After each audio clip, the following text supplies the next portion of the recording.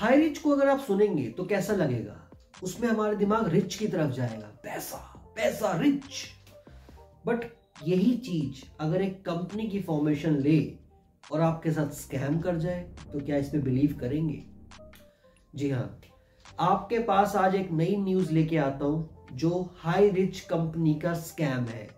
Kerala based ये company है, जो दो जनों ने इसको स्टार्ट किया।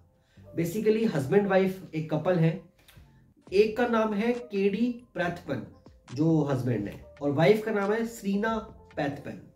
ये हस्बैंड वाइफ ने कंपनी शुरू की ऑनलाइन शॉपिंग की एक कंपनी है काइंड ऑफ़ एक ई कॉमर्स प्लेटफॉर्म बनाया, अपनी एडवर्टीजमेंट की फेसबुक पेज यानी पूरी एक तरह से मार्केटिंग करी। और इसमें मल्टी लेवल मार्केटिंग का रेवेन्यू मॉडल जो डाला, वो है एमएलएम का मॉडल है binary plan left right left right left right वाला प्लान अब इन्होंने हाई रिटर्न्स के वादे किए काइंड ऑफ़ 40 परसेंट के रिटर्न्स के वादे किए 50 परसेंट रिटर्न्स के वादे किए।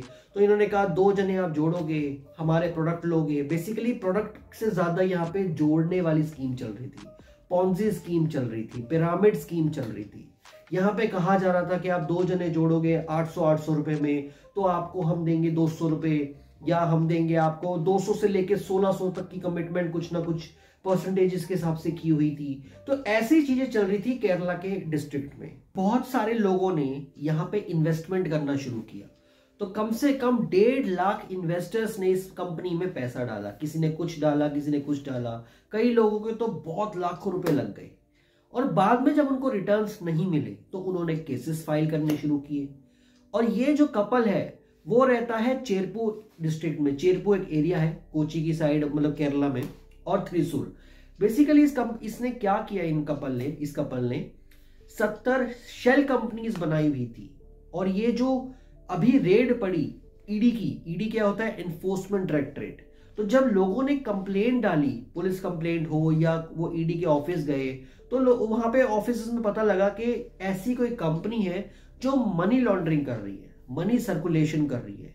यानी लोगों को 40 परसेंट फिफ्टी परसेंट के हाई रिटर्न्स के वादे करके उनको वो पैसे नहीं मिल रहे जो वो चाह रहे थे। तो वो बिज़नेस अपॉर्चुनिटी को जो ढूंढ रहे थे, वो उसमें उनको धोखाधड़ी फील हुई। तो जब कंप्लेंट डालनी शुरू करी तो कोची की जो ईडी एजेंसी है, जो वहाँ की ईडी है एनफोर्समेंट डायरेक्टरेट उन्होंने अपना चार्ज लिया और उन्होंने डिसाइड किया कि वो वहाँ पे अपनी रेड मारने वाले इनके घर पे, इनके ऑफ़िस में। तो पता लगा सत्तर सेवेंटी शेल कंपनीज़ बाहर निकल के आई हैं इनकी। इनके बेसिकली घर पे वो गए, चेरपू जो डिस्ट्रिक्ट एरिया है, वहाँ पे वो घर पे गए। उन्होंने जाने, जब वो पहुँचने वाले थे, उससे पहले ही ये तीन जने, यानी हस्बैंड वाइफ और उनका ड्राइवर तीनों जने वहाँ से भाग गए। तो ईडी ने मदद मांगी थ्रिसुर पुलिस से। तो वहाँ पे पता लगा कि इन्होंने अब बेल के लिए अपनी अर्जी दी है। और इनों की जो हिस्ट्री निकल के आई, जो कागजात वगैरह, जो भी कुछ घर से मिला, जो भी इनके एविडेंसेस मिले प्रूफ मिले, जो भी कुछ, वहाँ पे ये निकल के आया कि सत्तर शेल कंपनीज़ इनकी Thrissur area Cherpu area district में है और फोर्टीन कंपनीज़ इनकी वहाँ पे थ्रिसुर में है। बेसिकली शेल कंपनीज़ थी। काइंड ऑफ़ शेल कंपनीज़ का मतलब होता है फेक कंपनीज़ जो एक बना दी जाती हैं कंपनीज़ तो इस कंपनी के बेसिस पे पता लगा कि लोगों ने अपनी अपनी कंपनीज़ क्रिएट की हुई हैं और बता रहे हाई इन्वेस्टमेंट हाई इन्वेस्टमेंट के वादे किए जा रहे हैं, वादे किए जा रहे हैं। बेसिकली चेन बढ़ाने की कोशिश चल रही थी। तू भी आ जा, तू भी आ जा, तू भी आ जा, तू भी आ जा काइंड ऑफ़ तो ऐसे करते करते डेढ़ लाख इन्वेस्टर इसमें आ जाते हैं और उनके साथ होती है धोखाधड़ी। तो अभी तक जो पता लगा 55 बैंक अकाउंट फ्रीज किए गए हैं, जो डिफरेंट डिफरेंट कंपनीज़ के नाम पे रजिस्टर्ड है, उनको फ्रीज किया गया, जिसमें 212 करोड़ के आसपास का अमाउंट फ्रीज हो गया है। और यह पता लगा इन्वेस्टिगेशन में कि 1603 करोड़ के आसपास या 1630 करोड़ के आसपास इस कंपनी ने डेढ़ लाख इन्वेस्टर्स से पैसा रेज किया है। कुछ टाइम पहले जीएसटी जो वहाँ पे देखते हैं सदर्न रीजन में उनकी तरफ़ भी एक कंप्लेंट आई थी कि इस कंपनी ने 703 करोड़ रुपए रेस कर लिए और इनके ऊपर 126 करोड़ का जीएसटी बकाया है। तो ये दिखने में आ रहा था कि ये पैसा रेस किए जा रहे हैं। इनके बैंक अकाउंट में पैसा आए जा रहा है और ये जीएसटी नहीं भर रहे, ये ये अपना टैक्स नहीं भर रहे और कहीं ना कहीं उन डिपार्टमेंट्स को भी शक जा रहा था। और लोगों की जब कंप्लेंट्स आने लगी तो जीएसटी डिपार्टमेंट या ईडी हो पुलिस हो सबने एक साथ एक टीम बना के इनके ऊपर कार्रवाई करनी शुरू करी। और इनको पता नहीं कैसे, पता लगा होगा तो साढ़े दस बजे के आसपास जब ईडी के ऑफिसर्स वहाँ पहुँचे हैं इनके घर पे तो वहाँ पे ये लोग जा चुके थे। किसी तरीके से मैनेज करके छापेमारी करी रेड करा, और उसमें जो दस्तावेज़, जो भी कुछ मिला, उनसे ये सारी बाकी डिटेल्स मिली है। अब जो इतने सारे इन्वेस्टर्स हैं, लोग हैं, उनको पैसा किस तरीके से मिलेगा, इसका तो अभी कोई आइडिया नहीं है, ना कोई स्टेटमेंट है प्रॉपर अभी उन्होंने बेल की रिक्वेस्ट डाली है। अभी कोर्ट की हियरिंग 25 जनवरी से 30 जनवरी तक की शिफ्ट हो गई है। ये हो सकता है आगे भी शिफ्ट हो बट उन इन्वेस्टर्स का क्या? ईडी ने तो रेड मार दी बैंक अकाउंट फ्रीज कर दिए। यानी कोई भी रिफंड पॉलिसी ऐसा कोई सिस्टम लोगों को पता ही नहीं था। आठ सौ रुपए बहुत छोटी रकम लगती है कि एक ने एक से आठ सौ रुपए लिए आपने, कंपनी को दिए, और कंपनी ने इन रिटर्न आपको सौ रुपए दे दिए। ये चीज़ वादे कुछ करके आपको सौ सौ रुपए पकड़ा दिया आठ सौ आठ सौ रुपए में से। कोई प्रोडक्ट का कुछ इन्वॉल्वमेंट नहीं हो रहा था। लोगों को सिर्फ़ पैसा ही एक तरफ़ से लेके कंपनी को देना हो रहा था। तो इसको बोलते हैं मनी सर्कुलेशन यहाँ ऑनलाइन प्लेटफॉर्म बना दिया गया शॉपिंग का बट वहाँ पे कोई प्रोडक्ट सेलिंग कुछ नहीं हो रही थी। जो एज पर डेटा अभी तक निकल के आया है। इस पे और क्या होगा, वो तो ईडी की स्टेटमेंट्स पुलिस की स्टेटमेंट से बाहर पता लगेगा। बट अभी आपको इतना समझना है, ऐसी मल्टी लेवल मार्केटिंग फ्रॉड्स में फंसने से बेटर है।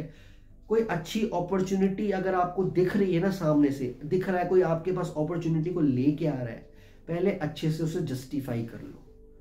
अगर आपको दिख रहा है, कोई सामने से आपको ऑफ़र कर रहा है कि भाई मेरे साथ ये काम कर ले, मेरे साथ बहुत बढ़िया पैसा बिज़नेस एंड ऑल ये सब है, पहले अच्छे से तहकीकात कर लो। 800 800 रुपए करके लोगों ने ढेर सारा पैसा लगा दिया। वो उस टाइम आठ सौ रुपए दिखता है।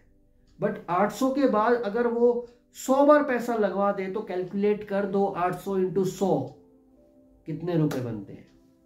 फिर वो कैलकुलेट करो ना। 800 सौ इंटू हज़ार बार आपसे धीरे धीरे करके ले लिया जाए, आपको पता भी ना चले, तब कैलकुलेट करके देखो कितने रुपए बनते हैं। कमेंट सेक्शन में बताना। अभी हम क्यूनेट को गाली देते हैं कि हमसे ले लिए भाई आठ लाख, सात लाख, छह लाख, चार लाख, साठ हज़ार। हमने कंप्लेंट्स डाली, सब कुछ किया, कोशिशें की। अब इस कंपनी की बारी आ गई। इसने आठ सौ आठ सौ रुपए चार्ज किए। हमारा दिमाग जो काम करता है ना, वो इन्फ्लुएंशियल काम करने लगे हैं। हमें अपने जो हमारी अवेयरनेस है ना, हम उस पर ध्यान नहीं दे रहे। हम सिर्फ़ और सिर्फ़ इन्फ्लुएंशियल चीज़ों पे चले जा रहे हैं। जैसे बहुत सारे इन्फ्लुएंसर हैं मोटिवेशनल स्पीकर्स हैं। हम सिर्फ़ इनकी बातें देखते हैं कि इन्होंने जो कहा, वो पत्थर की लकीर है। ऐसा नहीं होना चाहिए। Facebook marketing Instagram marketing YouTube marketing ये सब एड्स ये सब चीज़ें, सारी चीज़ें सही नहीं होती। ब्लाइंड ट्रस्ट मत करो। अपना भी एक सर्वे करो, अपनी भी एक इंफॉर्मेशन को कलेक्ट करो कि जो सामने बिज़नेस अपॉर्चुनिटी मेरे पास आ रही है, वो सही है या नहीं है? वो लीगल है कि नहीं है? अब ये जो डेढ़ लाख इन्वेस्टर जिन्होंने यहाँ पे पैसा डाला, क्या होगा उनका? पैसे मिलेंगे या नहीं मिलेंगे, ये तो बहुत बड़ा सवाल है। बट अभी क्या होगा उनके साथ?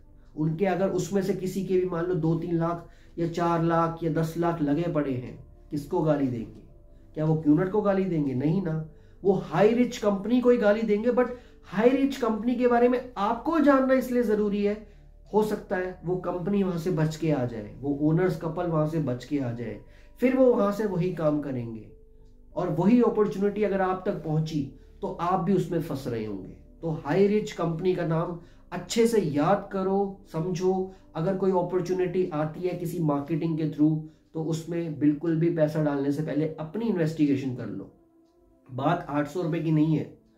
800 करके हज़ार रुपए, हज़ार बार ले लिए। बात उसकी है। हमें इस चीज़ को यहाँ से समझना है। यहाँ से समझना है। ठीक है? आई होप आपको इस कंपनी के बारे में कुछ बेसिक इंफॉर्मेशन मैंने देने की कोशिश की है। आपको समझ में आई होगी। और ऐसे और भी कोई इंफॉर्मेशन के लिए चैनल को सब्सक्राइब करके रखें वीडियो को लाइक करें और इस वीडियो का मैं टारगेट आपको देता हूँ थाउज़ेंड लाइक्स का। प्लीज़ सपोर्ट बना के रखना। Thank you so much bye take care जय हिंद